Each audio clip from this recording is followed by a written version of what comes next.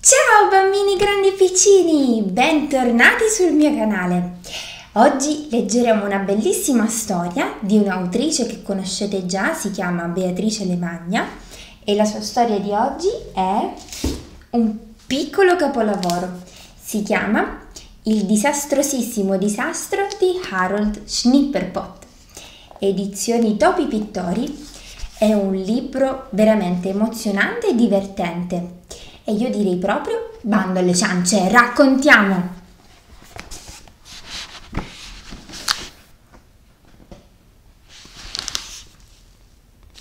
Ci sono giorni in cui va tutto storto, giorni in cui sentiamo che sta per succedere qualcosa di grave e che dopo nulla sarà più come prima. La mia storia inizia proprio in una giornata così. Eccomi, una settimana prima del disastro. Io, Harold Philip Schnipperpot, stavo per compiere sette anni e quello che volevo di più al mondo era una festa di compleanno. Una piccola festa, come non avevo mai avuto. E questo perché avevo genitori che, appunto, odiavano le feste quel tipo di genitori sempre di cattivo umore, corrucciati, allergici alle coccole e alle risate. Non parliamo poi dei baci della buonanotte, fantascienza pura. Ecco perché ad ogni mio compleanno non succedeva niente. Ma quell'anno ero davvero giù di corda, così giù che non parlavo più tanto che i miei genitori si preoccuparono a tal punto che mia madre disse Chiameremo il signor Ponzio. Nel nostro quartiere tutti conoscono Ponzio. Ponzio è un uomo buffo e come lavoro fa il risolutore di problemi, che risolve sempre in modo alquanto originale.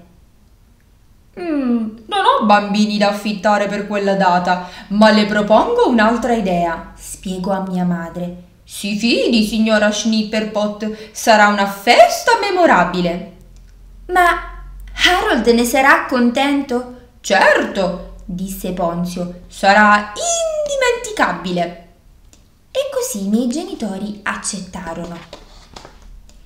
Il giorno della festa la nostra casa era un incanto.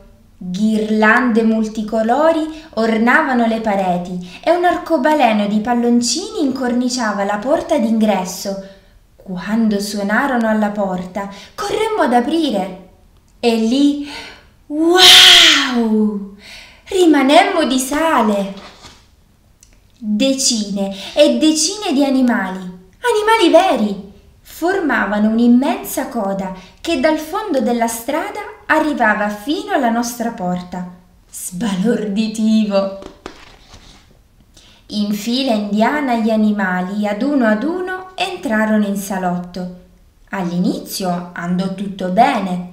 I miei genitori sembravano persino godere dello spettacolo. Ma molto rapidamente le cose precipitarono gli animali iniziarono a comportarsi come animali. I grandi mammiferi, i grandi mammiferi, ora l'ho capito, sono degli arredatori nati. Non appena entrati, si misero a spostare i mobili e aprirono tutti i cassetti per farli cadere meglio. Un orso polare sprofondò sul divano, mentre un gregge di pecore ne masticava l'imbottitura supportato da tre maiali divoratori di cuscini. La giraffa, imbattutasi nel nostro lampadario Art Deco, un'eredità di famiglia, si mise a sgranocchiare avidamente ogni goccia di cristallo. A questo punto mio padre collassò. Al piano di sopra un elefante russava nel mio letto dopo aver polverizzato la mia nuova pista delle macchinine elettriche. Una confusione bestiale. Ma dov'era Ponzio? Di certo non in cucina, dove uno stormo di uccelli stava intonando una sinfonia per tazze e pregiati piatti cinesi. Una famiglia di tartarughe fece irruzione nella biblioteca di papà e si mise a ingurgitare la sua collezione di libri rari. Oh no! Naturalmente l'ippopotamo galoppò verso il bagno e si tuffò nella vasca. L'acqua traboccò dappertutto, un'alluvione a base di bolle di sapone che attirò altri animali. Il pavimento era una pista di pattinaggio gigante. Povera mamma! Aveva una faccia da far paura.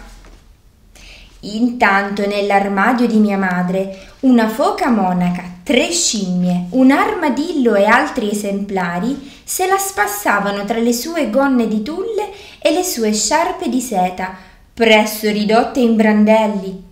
Con aria beata una capra indossava le sue scarpe più care. Un disastro, disastroso, disastrevole, disastrosissimo. La nostra casa era distrutta, devastata, completamente sottosopra e il pavimento del soggiorno era un tappeto di cacche variegate dal fetore pestilenziale. Mm. Per finire, un gigantesco alligatore si parò davanti ai miei genitori a fauci spalancate.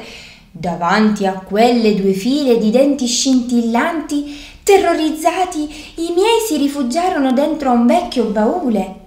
Sciaguratamente la serratura si chiuse di scatto, facendoli prigionieri. Feci di tutto per liberarli. Impossibile. A questo punto finalmente apparve Ponzio, bastone alla mano. Sconvolto da quella visione, l'elefante fuggì verso l'uscita Ebbi giusto il tempo di afferrarlo per le orecchie, mentre tutti gli altri animali si misero a correre dietro di noi. Ed eccomi qua, al galoppo per la città, in groppa a un pachiderma, inseguito da un intero zoo impazzito, in sottofondo le urla stridule dei miei genitori da dentro a un baule infilzato dal corno di un rinoceronte. Terribile! Ma all'improvviso tutto mi apparve straordinariamente divertente. Una folla di persone si era riversata per strada, aggiungendo un gran caos al trambusto gioioso. In testa a quella parata, allora ebbi un'idea.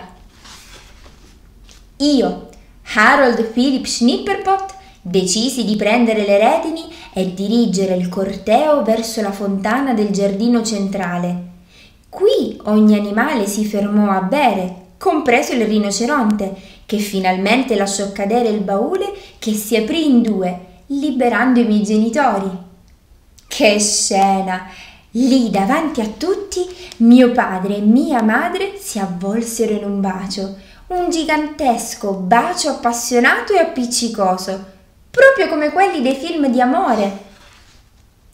Accesi da tanto romanticismo, i camaleonti si vestirono dei loro colori più splendenti, che riflettendosi nella fontana irradiarono l'intero parco. Allora frotte di bambini accorsero da tutte le parti per assistere allo spettacolo. Buon compleanno! gridò papà. Buon compleanno! ripeterono tutti i bambini. Alcuni scivolavano sul collo della giraffa, altri galoppavano a dorso dell'alligatore, mentre un piccolo gruppo pettinava il leone. E di me che n'era? Mamma mi prese tra le braccia e mi fece roteare in aria. Ridevo a crepapelle. Era questa finalmente la mia prima festa di compleanno, la più disastrosa e meravigliosa del mondo. Da quel giorno i miei genitori ed io muggiamo e ruggiamo, beliamo ed abbaiamo, spesso apriamo le bocche in fragorosi per ridere. E prima di dirci qualcosa di importante, ci annusiamo con attenzione. È divertente, ha osservato mia madre, come gli animali ci hanno insegnato ad essere più umani. Il signor Ponzio ora è diventato nostro amico. Ha riparato un sacco di cose, inclusa la mia pista delle macchinine. Ama giocarci, ma soprattutto vincere, come noi bambini. Ora avete capito dove volevo arrivare? Le catastrofi possono avere conseguenze straordinarie. Ma la cosa davvero più straordinaria di questo disastro sono loro, i miei nuovi, deliziosi baci della buonanotte. Fine. Accipicchia, che giornata memorabile per Alol Schnipperpot. Sapete, un mio amico tantissimo tempo fa ha detto che l'imprevisto è la sola speranza. Ma che significa? È una parola stranissima, non è vero? Significa che alle volte ci sembra che tutto vada storto e che niente va per il verso giusto. Ma accade qualcosa che non avevamo previsto, che non sapevamo che sarebbe accaduta e che cambia tutto e ridona colore a tutto quanto. Ecco, come per esempio quando siamo tristi oppure arrabbiati, allora viene una persona che ci vuole molto bene e ci dà un bacetto, così d'improvviso. E noi ci rendiamo conto che tutto ciò che ci rendeva triste in realtà non è niente in confronto a quel bacetto che ci dimostra invece tanto amore. E tutto cambia. Vedete, bambini, anche i disastri sono portatori di cose buone e nulla, proprio nulla è perduto nella vita, piccoli amici miei. Allora, io sono sicura che questa storia è piaciuta tantissimo anche a voi e spero e sono sicura anche che ci rivedremo settimana prossima per una fantastica nuova storia. Ciao!